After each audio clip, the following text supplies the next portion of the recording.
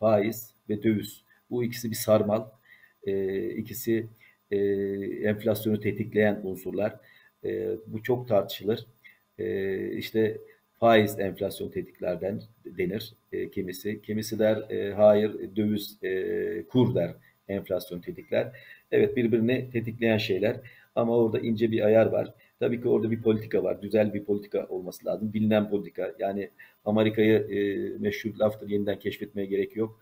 E, oradaki politikayı aslında herkes tarafından biliniyor. Ama e, siyasi pozisyonlar e, o politikayı zaman zaman engelleme e, durumlarında gidebiliyor.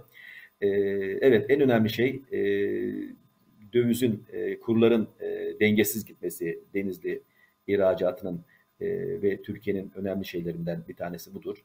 E, bir de faizdir. Çünkü faizin yüksek oluşu e, işte e, e, kredili satışların e, inşaat sektöründe ve otomotiv e, satışında parakente anlamında söylüyorum.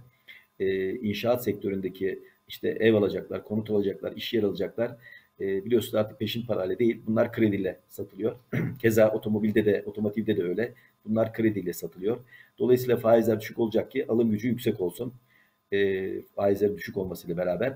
Aynı zamanda faizlerin yüksek oluşu e, yatırımcıyı da e, etkiliyor. Yani yeni bir fabrika yapılacaksa, yeni bir iş yeri yapılacaksa bu yatırımcı parası e, mutlaka elindeki parayla yapmıyorlar bu yatırımları. Yapmıyoruz daha doğrusu. Krediyle yapıyoruz.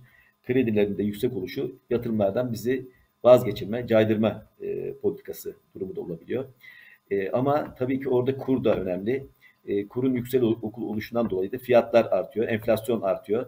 Dolayısıyla o fiyatları da e, geri çekmek için bilhassa öncelikle benim e, düşüncem, benim tercihim veya benim bildiğim kuru düşürmek için e, en önemli e, çare e, tabii ki oradaki silah faiz silahı.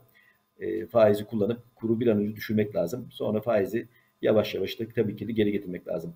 Bunları daha önceki dönemlerde Türkiye yaptı. İnşallah bu dönemde yine yapacaktır.